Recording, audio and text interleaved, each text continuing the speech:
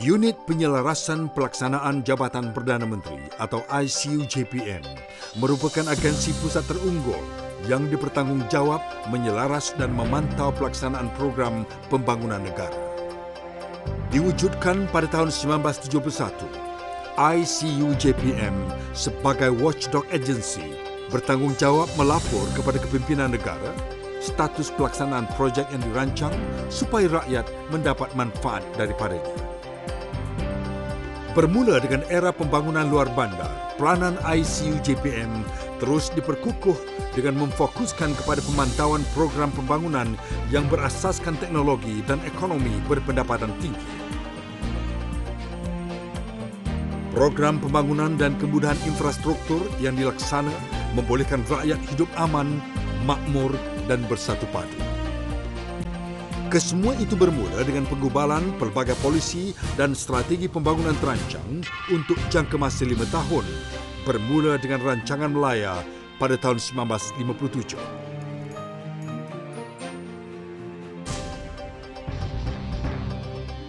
Legasi pembangunan negara diteruskan dengan pelancaran model baru ekonomi berteraskan pendapatan tinggi, keterangkuman dan kemampanan yang terkandung dalam rancangan Malaysia ke-10 keberhasilan sesuatu program dan projek pembangunan bermula dengan perancangan yang baik.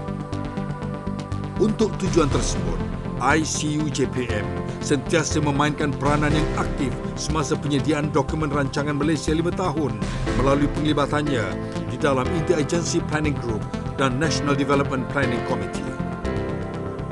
Fungsi utama ICU JPM adalah menyelaras, memantau dan menilai dasar program projek pembangunan. Memantau keberhasilan program atau projek melalui penilaian outcome. Mengurus dan menyelaras projek khas Perdana Menteri, timpalan Perdana Menteri dan menyelaras pelaksanaan program pembasmian kemiskinan.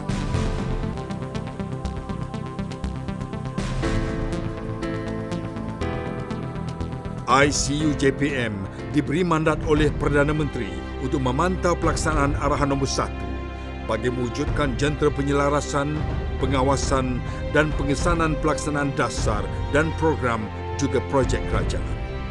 ICU JPM disokong oleh 14 pejabat cawangan di negeri-negeri.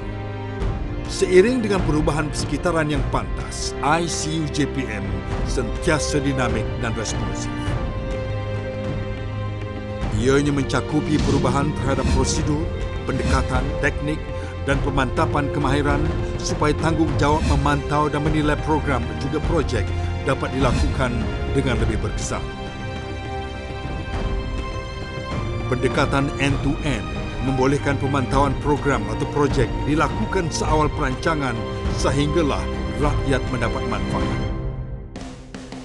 Peranan ICU JPN diiktiraf oleh agensi pelaksana dalam menyelesaikan masalah pelaksanaan melalui penyelarasan di pelbagai peringkat.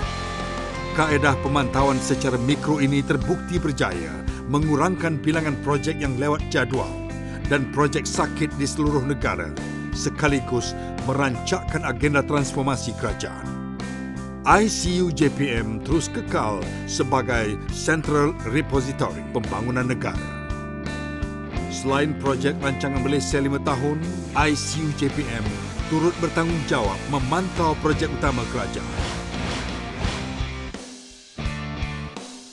ICU JPM sentiasa bekerjasama dengan agensi pemantauan lain melalui perkongsian maklumat dan pelaporan. ICU JPM turut membangunkan sistem pemantauan projek atau SPP2 berasaskan web sebagai mekanisme dalam merancang, memantau dan menilai pelaksanaan projek pembangunan. Selaras dengan keperluan pengurusan maklumat terkini, SPP2 telah diperkemas dengan mengaplikasikan penggunaan Geographical Information System dan Business Intelligence Tool sebagai nilai tambah kepada kaedah pelaporan sedia ada. Sistem ini merupakan legasi buku merah, kaedah pertama yang digunakan pakai bagi tujuan pemantauan. ICU JPM menerajui aktiviti penilaian outcome selaras dengan pendekatan baru berasaskan pencapaian. Ianya dijadikan sebagai Key Performance Indicators kepada Ketua Setiausaha Kementerian dan Ketua Jabatan. Mulai tahun 2007, ICU JPM diberi kepercayaan sebagai penyelaras utama program pembasmian kemiskinan. Untuk tujuan tersebut, ICU JPM membangunkan Bank Data Kemiskinan Nasional dikenali sebagai IKASE yang menjadi rujukan kepada semua agensi pelaksana. Bagi memastikan keseimbangan equity, ICU JPM diberi tanggungjawab menyelaras dasar dan strategi penyusunan semula masyarakat bagi sektor-sektor strategi.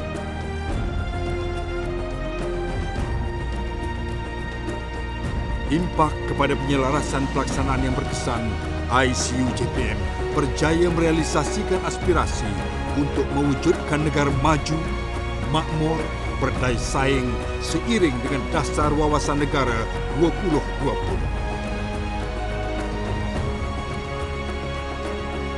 ICU Jabatan Perdana Menteri peneraju pembangunan negara.